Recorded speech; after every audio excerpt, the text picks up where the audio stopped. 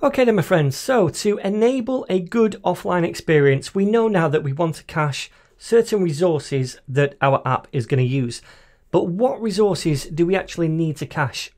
Well, at the very least, we should be caching the core resources that make up the user interface of our web app. Static assets, like if we had a logo, we could cache that because that's going to be the same on every page, right?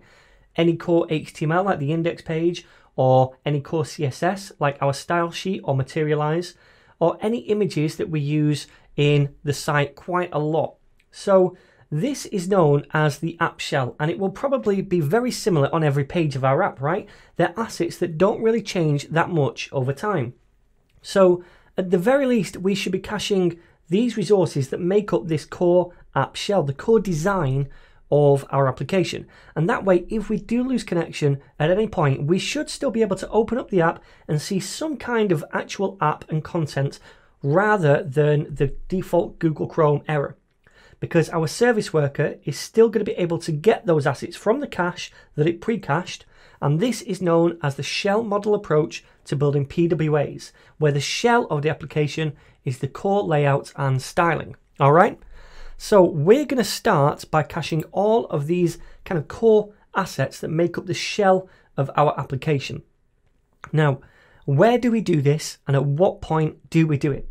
Well, a good place to do it is inside the install event handler because this happens every time a service worker file changes and then we reload the page. So we're not caching assets all the time, only when our service worker file changes, which might typically happen when you update the app and need to recache assets.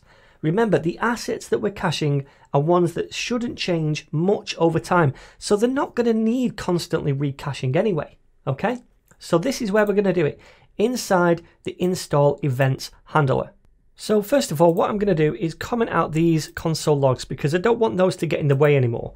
And the next thing I'm going to do is say caches because we're going to access the cache API here. That's how we do it.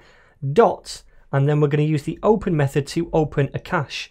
Now I'm going to pass a string in here, which is going to be the name of the cache. In fact, I'm not going to do that. I'm going to store a string in a constant at the top, which is going to be the cache name. So I'll say const, and then we'll call it static cache name and set it equal to site hyphen static. Now you can call this what you want. I'm calling it site static because these are going to be the static resources, the shell resources, if you like. So this will be the name of our cache and I've stored it in a variable because we might use it more than once in this file. So I didn't want to keep writing it over and over. And if we change it, have to update it many times. So anyway, now we're going to pass this variable name here into this open method. So what this is going to do is open this cache if it exists. If it doesn't exist in the browser, then it's going to create that cache called site static, and then it's going to open it. Now this thing here, this is an asynchronous task, meaning it might take some time to do, maybe not long, but either way it takes time to do. And it returns to us a promise. Therefore, what we can do is tack on a dot .then method, and inside we fire a function when this promise is resolved. Now this function takes in the cache as a parameter. So that is the cache that we open. We take it in this callback function once this open method is complete. So inside this callback function, we now have access to the cache and we can do something with it like add items to it. So now what do we want to add to it and how are we going to do that? Well, to add items to the cache, we can use one of two methods. We can either say cache, which is what we receive back right here, and then use the dot add method to add a single item, or we can use dot add all to add an array of items. Now, both of these methods, add and add all, both reach out to the server and get those resources. So if we use add and specify a resource inside that method, it's going to reach out to the server and get that one single resource.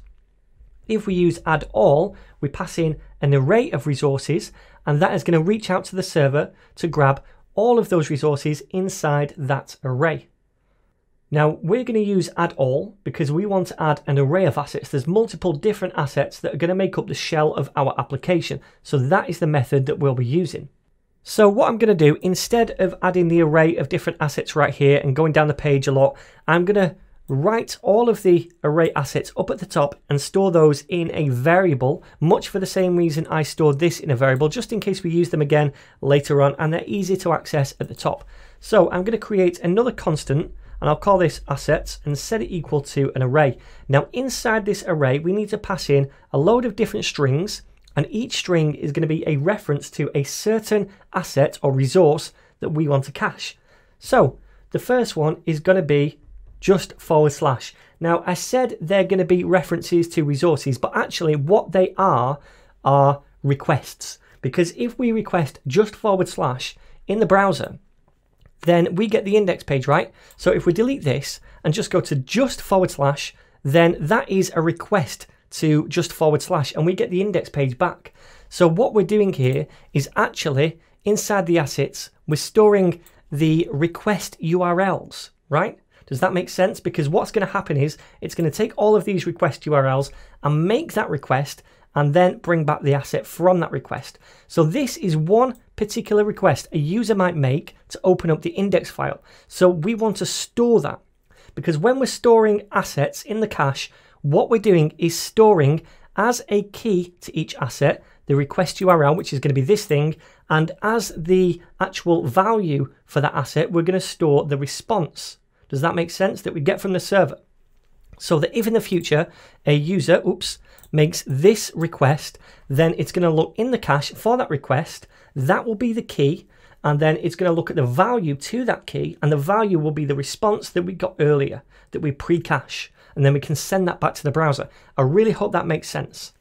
So we need to do forward slash because that is a possible request that could be made in the future.